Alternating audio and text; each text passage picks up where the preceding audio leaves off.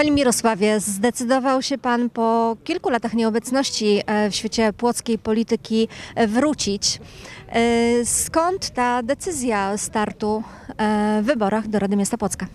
E, Zawsze Płock był mi najbliższy sercu, zawsze Płock y, był moim żywiołem i w samorządzie i wcześniej tutaj się wychowałem, tutaj pracowałem. E, W dalszym ciągu zamierzam e, związać przyszłość z Płockiem.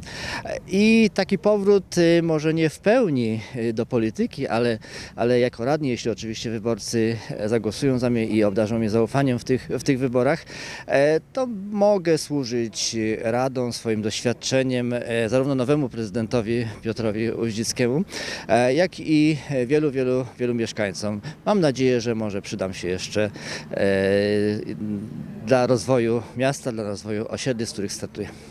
E, Wasz kandydat na prezydenta Płocka Piotr Uździcki wspominał podczas prezentacji kandydatów o e, inwestycjach, jakie dokona, jakich dokonano podczas e, pana kadencji jako prezydenta Płocka. E, Za nami jest Molo, słynne Molo e, Płockie. Jak pan teraz z perspektywy czasu wspomina te inwestycje i ocenia ją?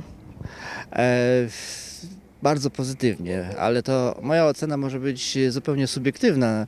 E, Bardzo miłe są słowa przede wszystkim osób przyjeżdżających tutaj e, do Płocka, ale i mieszkańców po wielu latach, którzy e, już nie pamiętają tych problemów z budową molo i z tym powodzią, po- która, która nawiedziła podczas oddania do użytku te, ten obiekt, ale bardzo pozytywnie wspominają, przychodzą na molo, piją kawę, lody i w każdym niemalże gadżecie reklamowym miasta jest właśnie to molo. To cieszy, ale myślę, że na tym nie powinniśmy kończyć. To, to nabrzeże powinno żyć na przestrzeni kilku kilometrów i inwestycje i kreowanie życia przez miasto jest tutaj e, konieczne. O tym wspominamy w naszym programie i w licznych kilkunastu przedsięwzięciach, które proponujemy na tym nabrzeżu Wiślanym.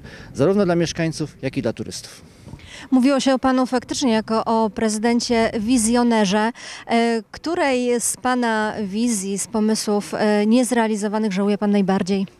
Najbardziej oczywiście linii tramwajowej, dlatego że dziś widzimy e, te coraz bardziej zwiększające się korki, szczególnie w godzinach e, szczytu. To było do przewidzenia, zwiększająca się liczba samochodów osobowych e, i, rosnące zapotrzebowanie na komunikację miejską i ograniczony w pewnym sensie, e, ograniczony rozwój e, e, dróg i, i różnych e, nowych, nowych rozwiązań komunikacyjnych musi spowodować e, coraz większy problem e, komunikacyjny. Szkoda, dziś jest to już niemożliwe do realizacji ze względu na, e, na koszty, ale mam nadzieję, że może jeszcze po latach ktoś do tego wróci, do tej pierwszej myśli inżynierów z lat 70.